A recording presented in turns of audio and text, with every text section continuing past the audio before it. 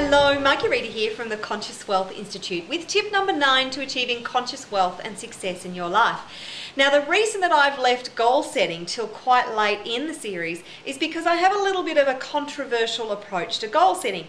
Most coaches and books and um, methods will tell you that you need to be very structured in your goal setting. You need to have everything down very specifically with tight time frames. One of the most popular um, methods to set goals is the SMART goal formula. Now, if you're not familiar with the SMART goal formula, then there is a blog on my website, Conscious Wealth Institute, where you can follow through with that.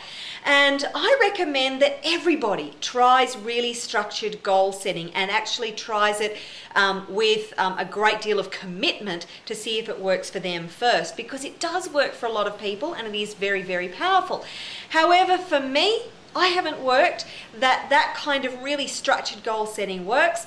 And I heard somebody called Maz Shermer speaking quite recently, and um, she's a well recognized public speaker and a coach.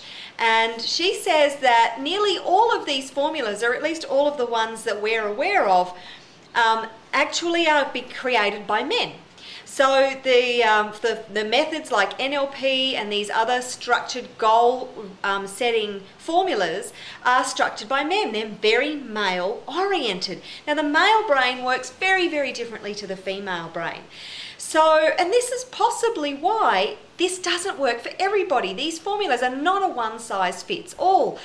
And you really need to be um, aware of what goal formula works for you if it needs to be really, really, really structured. And you know what? I've actually noticed that this year, the beginning of this year, 2013, a lot of the coaches are moving away from this structured goal setting formula, which is so interesting.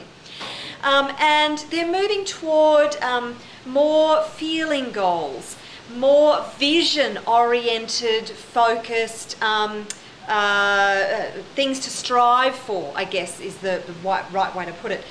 Um, and for instance, the way I set my goals for this year is how many more people I want to reach with my message, how many more people I want to hear my sound healing, and how many more people I want to help transform their lives rather than a money goal. A money goal does not drive me. It does drive many people and it drive if it drives you, fantastic. But for me, setting a money goal really just pulls the rug out from under me. It does not inspire me. So Max Simon says it very, very well. Figure out who you want to be in the world. And then figure out your activities around who you want to be on a daily, weekly, monthly, and a yearly basis. For instance, I choose to be more conscious this year. In every moment, I want to be more conscious, more aware. I want to be kinder to myself and others, have more compassion. And I also do have some very big goals this year.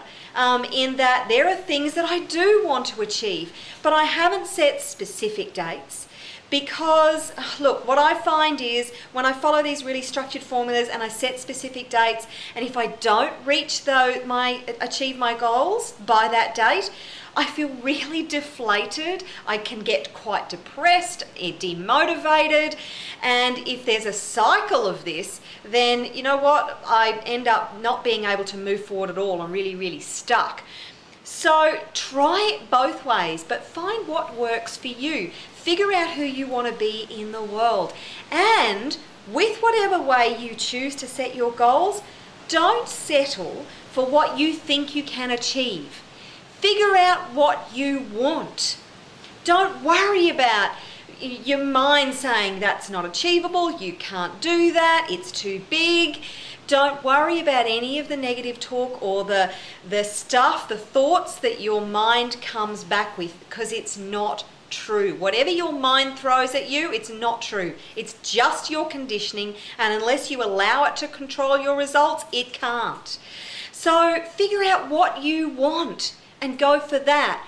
So, firstly, figure out who you want to be in the world. Then figure out what you truly, truly want. How do you want to feel, and what things will help to um, help you to feel those feelings, to achieve um, that presence in the world. And then Be happy where you are right now. That is so important.